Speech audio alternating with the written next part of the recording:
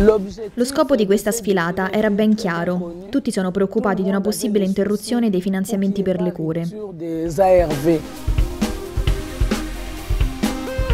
Étant que moi-même je suis déjà sortie de la clandestinité, c'est mon expérience que j'ai donnée aux filles. Io ho rotto il silenzio riguardo la mia situazione. Questa è l'esperienza che ho trasmesso alle ragazze.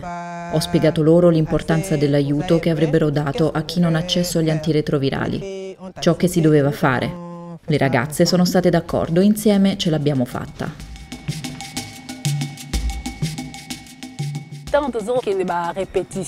Durante le prove, mentre ci stavamo preparando, la nostra istruttrice ci ha mostrato cosa fare.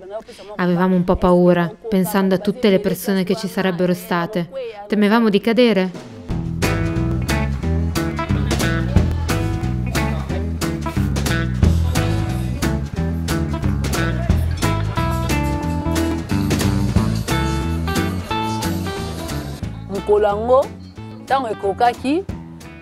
Quel giorno, appena uscita in passerella, ho visto che le persone erano felici, si sono congratulate con me e mi hanno incoraggiato a effettuare una seconda uscita.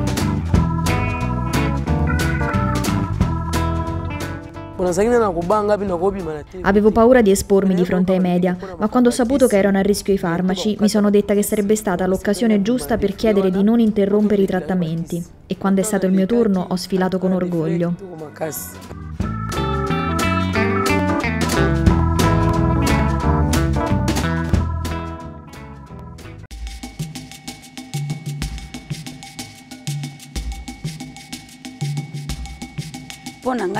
Questo spettacolo è stato per me una grande occasione per dimostrare che nonostante io conviva con l'HIV sono una persona sana, ma anche per incoraggiare chi è malato come me ma si nasconde e non vuole fare il test. Je vais continuer à Voglio continuare a parlare di HIV e AIDS. Voglio iniziare a sensibilizzare l'opinione pubblica sull'HIV, educare i giovani, gli adolescenti. Voglio aumentare la consapevolezza di tutti i giovani. Parlerò dell'HIV. Le persone con l'HIV sono assolutamente vive e in buona salute grazie alle terapie antiretrovirali, ma se non ci fossero più, che cosa ne sarebbe di loro?